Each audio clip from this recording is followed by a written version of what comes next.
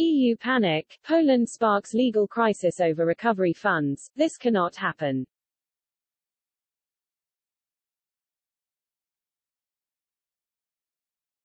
The EU is facing a legal crisis due to Poland's ratification of its plans for Brussels recovery funds, an expert has warned.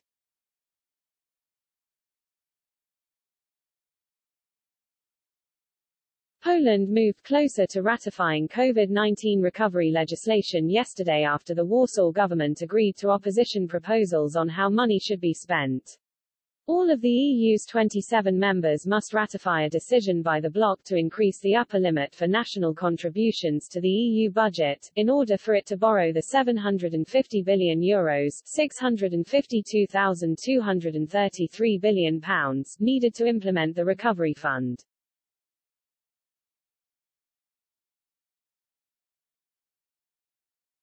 However, splits in Poland's ruling United Right coalition over the plan have made opposition support necessary and even raised the possibility of early elections if the government cannot secure majority backing in parliament, which would compound the sense of instability in an alliance that has been racked with tensions for months.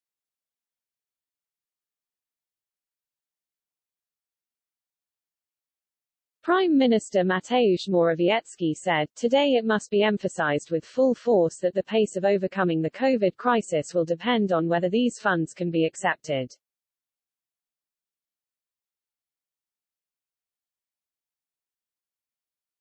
He added that the bill would now go to Parliament.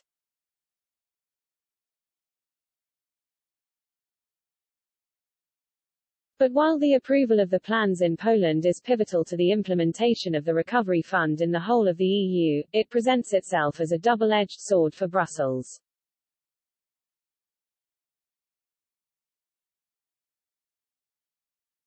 Piotr Buras, head of the Warsaw office of the European Council on Foreign Relations, warned the national ratification of the plan could come at the cost of the EU legal order and Polish democracy.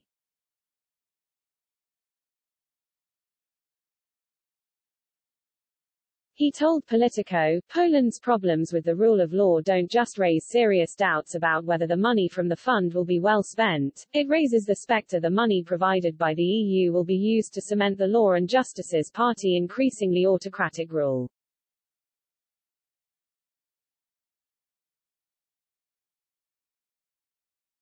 In an open letter to the government published on Tuesday, a broad coalition of Polish non-governmental organizations criticized the government's work on the National Recovery Fund for lacking transparency and ignoring the public consultations required by the EU.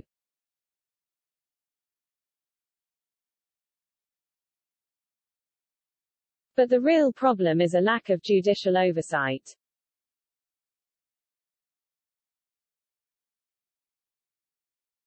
He continued, the problem is getting worse. Even as the ruling coalition squabbled over the recovery fund, it was taking steps to reject the supremacy of EU law.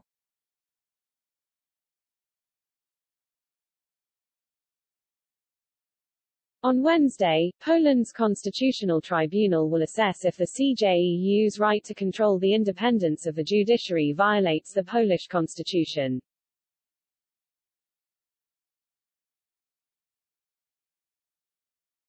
The tribunal is controlled by the government, packed with law and justice politicians and loyalists. The Chief Justice is a personal friend of Kaczynski. The government's goal is obvious, to introduce a constitutional barrier barring the implementation of rulings on judicial independence by the CJEU.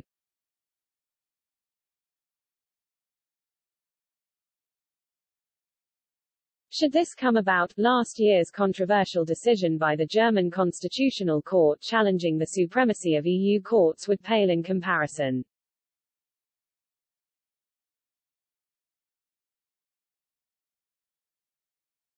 The Polish decision would effectively deny the role of the CJEU and the European Commission as protectors of the treaties and rule-based legal order.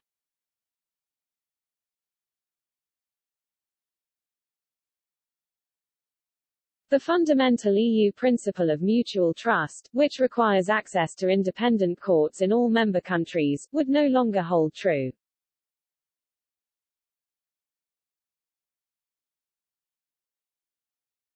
This must not be allowed to take place. Poland is a pivotal country for the EU, and it is in the entire bloc's interest to help it succeed.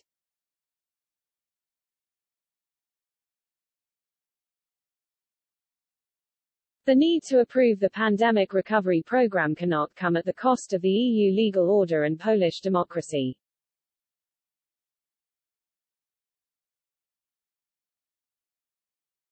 United Poland, a junior partner in the governing coalition, is opposed to the EU recovery plan, which it says could see predominantly Catholic Poland forced to accept liberal policies like gay marriage and become saddled with debt.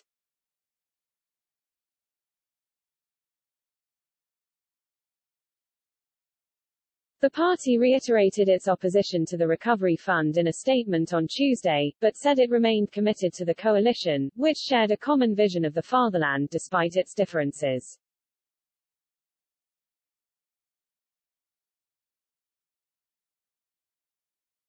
A meeting between the government and the left parliamentary bloc yielded agreement on the latter's proposals on how funds should be spent, including building 75,000 flats in Poland for rent, investing in hospitals and supporting sectors worst affected by the pandemic.